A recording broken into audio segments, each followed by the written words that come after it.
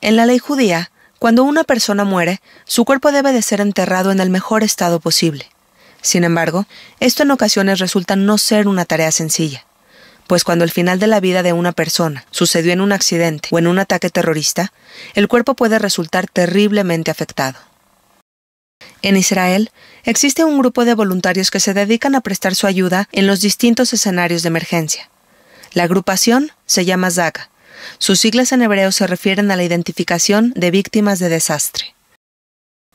En su mayoría, los voluntarios son judíos ortodoxos que se dedican a la difícil labor de ayudar a heridos, identificar a los muertos y, en el peor de los casos, recolectar las partes de cuerpos desintegrados para que éstos sean enterrados como la ley judía lo indica.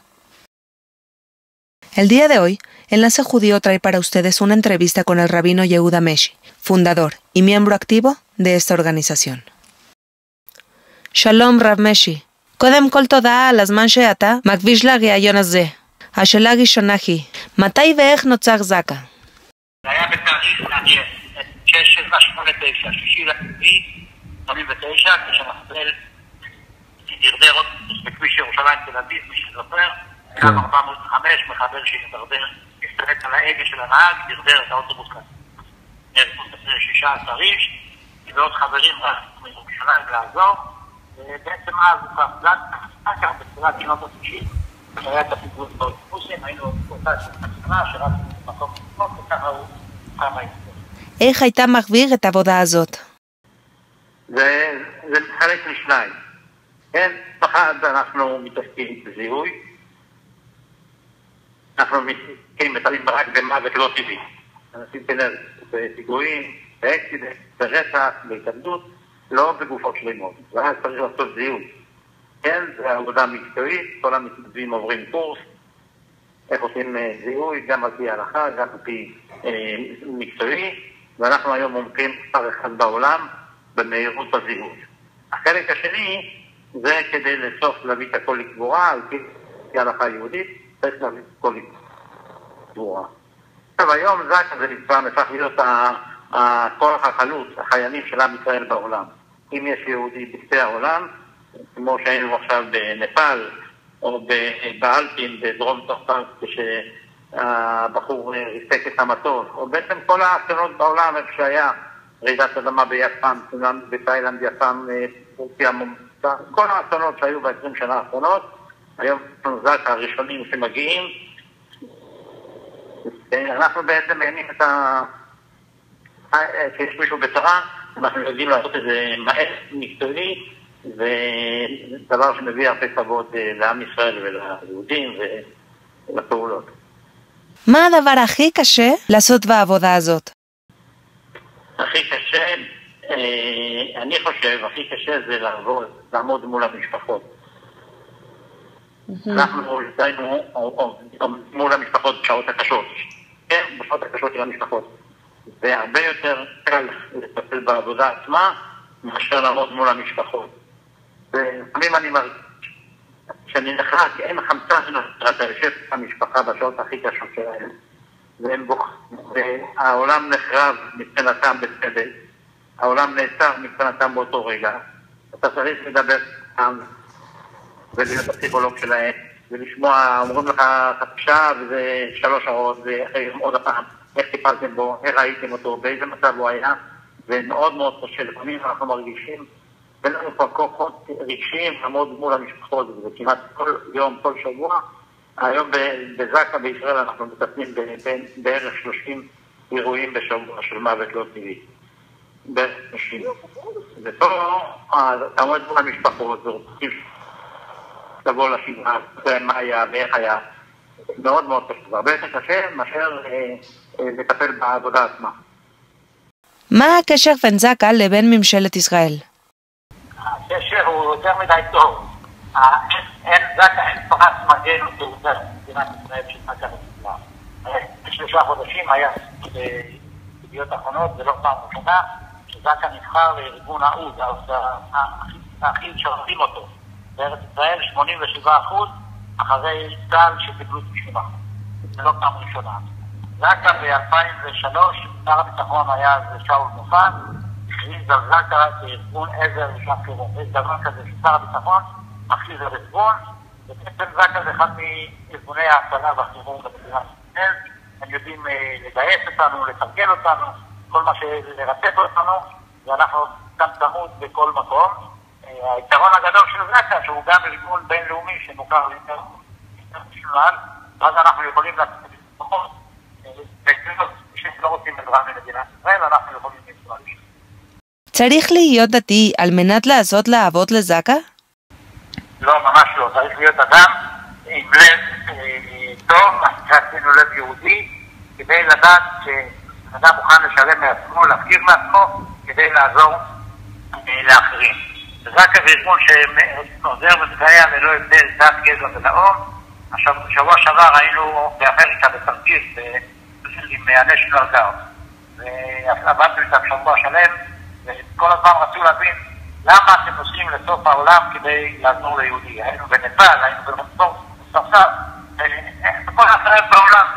למה אתם נוסעים? וניסיתי להסביר להם, הם יבינו מה זה נקרא, אי אפשר להגיד את זה לגויים, כל ישראל ערבים זה לזה, או המושג של אחים לצרה, כן?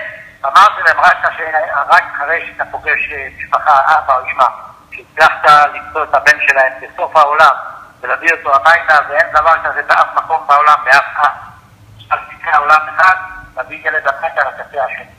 זכרון שאחרי אירוע טרור, אוספים גם את חלקי הגוף של הטרוריסטים על מנת לשלוח למשפחות שלכם? זה האבסורד שבדבר. כמו שאנחנו מטפלים בפיגוע, של הקורבנות, של הנרצחים, אנחנו צריכים לטפל גם במחבל ברוצח. אמנם תוך כדי חריקת שיניים, לעולם, לעולם לא נחבר אותו ביחד, לא נסיע אותו באותו רכב, אבל כן, אנחנו מטפלים גם בגופו של המחבל, לא רק בפיגוע, יש גם פיגוע שלא הצליח, שמחבל, מה שנקרא אצלם תאונת עבודה, אנחנו מטפלים גם בגופות שלהם. לפעמים, דווקא בגלל זה אנחנו יכולים לסרב ולהגיע גם למדינות ערביות, כי אין עם ישראל, אבל כן, אין מה לעשות, זה מה שאנחנו עושים. גם בתורה, המושג הזה של לקבור בן אדם, להביא אותו לקבורה, בתורה, פעם ראשונה שזה כתוב, שהבן אדם, תתלו אותו, תלו אותו על עץ, על איזו עבירה שהוא עשה, שהוא הרג, שבת או משהו אחר, ותעלו אותו, והתורה אומרת שצריך לקבור אותו. אבל רואים שגם בתורה, גם אפילו שחל שהוא מה שנקרא נבל, רוצח, צריך להביא אותו לקבורה. מה הם האפקטים הפסיכולוגיים של העבודה הזאת ואיך פותרים אותם? בזק"א יש מערכת שלמה של הגנה פסיכולוגית. אנחנו מכירים בעולם אנשים שנחשפים לטראומה, הולכים לפסיכולוג, שלאט לאט לטפל. פה אנחנו מדברים על מתנדבים שכל הזמן נשאבים עוד ועוד אירוע ועוד אירוע ועוד אירוע, ואירועים מאוד מאוד קשים, כן? בזק"א רצים למקומות שמטבע הדברים אנשים בוכים שם. כן, אנשים בוכים כשיש אסונות. או דברים קשים. מתנדבים של זק"א הולכים לשם.